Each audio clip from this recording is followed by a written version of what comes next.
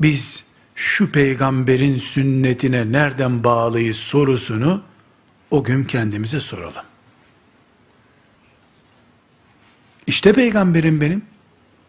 Hadisi şerif konuşuyorum. Başkasının çocuğu üstelik geldi ona bunu konuştu. Kim bilir de bu delikanlı huzuruna gelmeden beş dakika önce Cebrail oradaydı da cenneti tarif ediyordu belki de. Belki cehennem ayeti inmişti bu çocuktan beş dakika önce. Özel bir şey konuşacağım diye kenara da çekmedi peygamberi. Elma, armut der gibi derdini anlattı.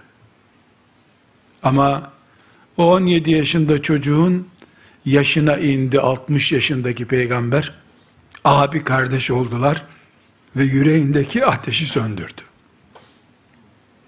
Alın şu terbiyesizin kafasını ibreti alem olsun insanlığa demedi. Deseydi zaten rahmetellil alemin olmazdı. Sünnete ehil insanlarsak, Resulullah sallallahu aleyhi ve sellemin peşinden gidiyorsak, öğle namazının sünnetini, kıyamet günü onun eteklerine yapışmak için kılıyorsak, bu da onun sünneti işte. Karakteri, karakteri, şöyle bir gözlerini sert hareket ettirseydi, ashab bu delikanlıyı yüz parçaya bölerlerdi orada. Hadisin rivayetlerin birinde de yeğenim yeğenim bana gel diyor. Yeğen kelimesi duygusal bir kelimedir. Çünkü abimin çocuğu, bacımın çocuğu diye kendine mal etmek vardır. Nübüvvet makamında Resulullah mescidinde zina ruhsatı isteyen bir canavar ruha yeğen diye hitap ediyor. Neden?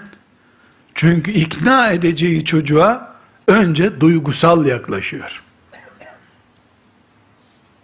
Sen kırbaç nedir bilir misin diye başlamıyor. Kırbaçı biliyor çocuk zaten. Ama içinden de kırbaç yiyor. Deliriyor, çatlayacak.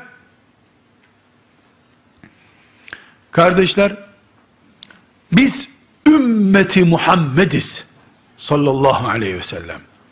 İsrail oğulları gibi daha iyi mümin olmak için dağlara çekilen bir ümmet değiliz. 70 sene dağlarda tek başına ibadet etmek bizim ümmetimizin işi değildir. Biz dağlarda da medeniyet kurmak için gelmiş bir ümmetiz.